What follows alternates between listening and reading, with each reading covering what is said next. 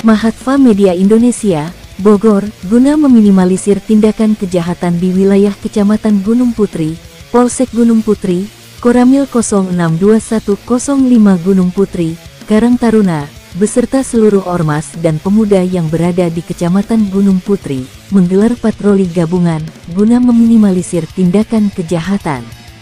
Sabtu, tanggal 25 Maret tahun 2023. Kegiatan patroli gabungan ini adalah salah satu bentuk sinergitas antara TNI Polri, beserta seluruh lapisan masyarakat, seperti Ormas. Adapun target dalam operasi gabungan yakni, kerumunan para pemuda, dan lokasi yang dinilai rawan dengan tindakan kejahatan. Kecamatan Gunung Putri, Kabupaten Bogor, Jawa Barat, Mahatva Media Indonesia, melaporkan.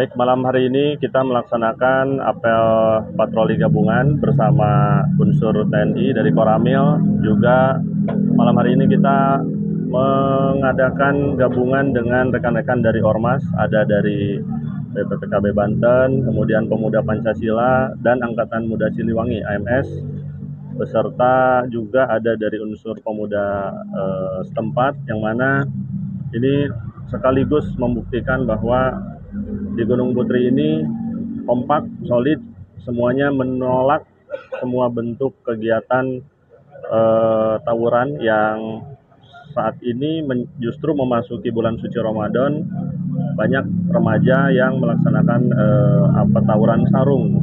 Untuk itu kami berdasarkan perintah Bapak Kapolres tidak hanya malam ini juga malam-malam selanjutnya kami sudah membagi tim untuk mengantisipasi adanya tawuran. Ya, untuk pihak kepolisian kami sudah sepakat bersama pihak sekolah, juga pihak lingkungan untuk sama-sama melakukan eh, apa namanya kepedulian.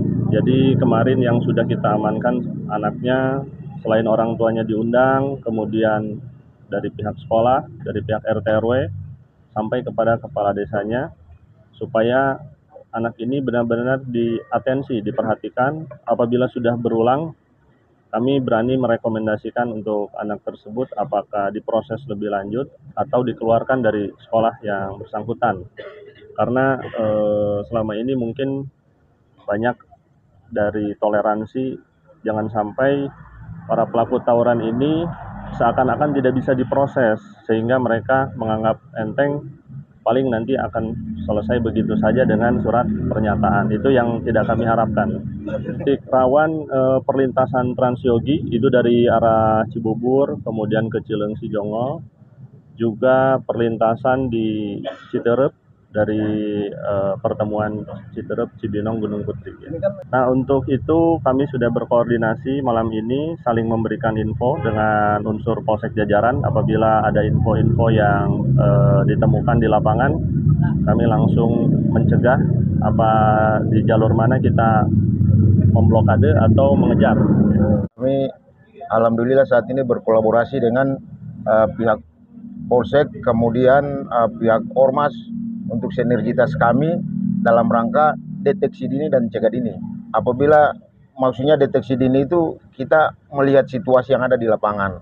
Mungkin ada laporan-laporan dari eh, masing-masing eh, pihak dari luar, kita tampung, kita laporkan ke polisi, terus kita laksanakan cegah dini bersama masyarakat bersama orang tua, bersama uh, muspika yang ada di di Gunung Putri ini. Demikian. Untuk TNI sendiri Pak, jika menemukan TNI menemukan terjadi tawuran, Pak, apakah bisa langsung ditangkap atau seperti apa langkah dari TNI sendiri? Uh, TNI sendiri apabila melihat uh, situasi tawuran, kita tetap berkolaborasi dengan Polsek. Kita membantu polisi. Kita mungkin menangkap bisa untuk kita serahkan ke polisi untuk dibina lagi. Terus tidak menutup kemungkinan juga uh, dari kolaborasi antara ormas, antara warga masyarakat, Muspika sendiri. Apabila ada apa-apa, langsung kita kolaborasi, kita laporkan ke polisi langsung. Apa acara ini siapa apa aja yang dipersiapkan oleh ormas? Untuk buat persiapan, kebetulan kami dari seluruh para sub rayon, alhamdulillah dapat hadir semua untuk buat mengamankan apa hal-hal yang tidak diinginkan seperti tawuran uh, apa yang sudah terjadi kemarin itu apa uh, menjadi satu pelajaran. Jadi kami dari Ormas Angkatan Muda Siliwangi memberikan rasa aman untuk buat masyarakat khususnya masyarakat desa apa Kecamatan Gunung Putri. Nah, eh, langkah-langkah sendiri dari BPKB uh, seperti apa nih dengan segala mencegah kejadian-kejadian hal tidak diinginkan? Uh, kami dari gabungan ormas yang ada di Kecamatan Gunung Putri, khususnya BPKB, melakukan langkah-langkah ini demi uh, terciptanya kondusivitas yang ada di wilayah uh, hukum Kecamatan Gunung Putri atau wilayah hukum Polsek Gunung Putri dan Koramil Gunung Putri. Langkah-langkah yang kita lakukan sesuai dengan arahan eh, Bapak Kapolsek berasa Bapak dan Ramil, yaitu melakukan eh, patroli gabungan ke semua desa yang ada di Kecamatan Gunung Putri. Sekian. Begitu kan, uh, untuk uh, anggota PP sendiri banyak yang tersebar di seluruh wilayah yang Gunung Putri. Nah, kan bisa mengantisipasi. Ada nggak langkah sendiri yang khusus dilakukan oleh PP untuk mengantisipasi model uh, koordinasi antara anggota segala macam gitu? Saya perintahkan waktu itu ke seluruh ketua ranting yang ada di Kecamatan Gunung Putri. Saya perintahkan setiap pos jangan terlalu dikosongin ya, selalu jaga supaya biar kondusif. Apabila nanti ada rekan-rekan yang kurang kondusif, coba tolong laporkan secepatnya ke ketua PAC. Itu saya sendiri. Begitu bang. Langkahnya bang, mungkin ketika menemukan selain dilaporkan, apakah ada pencegahan atau nanti membubarkan? Kalau perintah dari saya daripada mengobati lebih baik menyegah ya. Karena itu demi keamanan kita bersama, khususnya di Kecamatan Gunung Putri. Karena ini bulan suci Ramadan bang.